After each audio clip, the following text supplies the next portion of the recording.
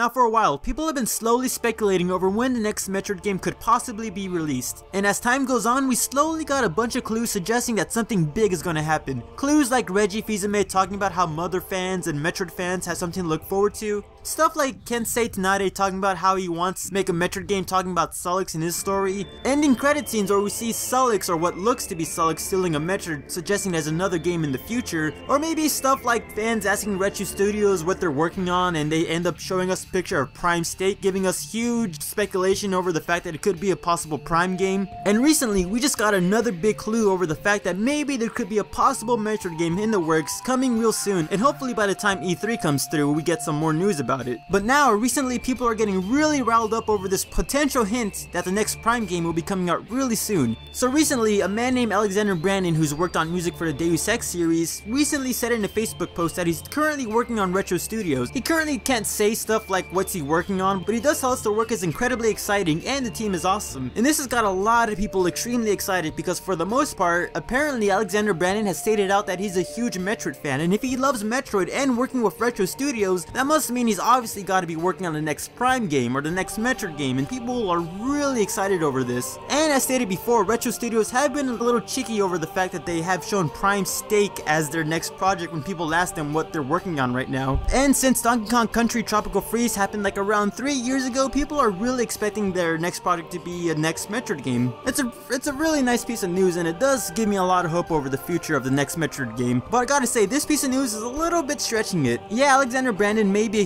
huge Metroid fan and all that. Just because he's a fan of Metroid doesn't mean he's automatically composing Metroid music. That's kind of, that's a little far-fetched when you really think about it. But it does bring a lot of people a lot of hope over the potential of a Prime 4 and hopefully it does happen. But what do you guys think? Do you think this piece of news of Alexander Brandon working for Retro Studios now is a big sign that Prime 4 is happening or maybe it's just stretching a little bit too much? I'd like to hear your guys' opinions and this is just a quick video just to spread out the word that maybe we have a potential Prime 4 game coming hopefully soon. So if you like Metroid content, feel free to subscribe, and I am out of here.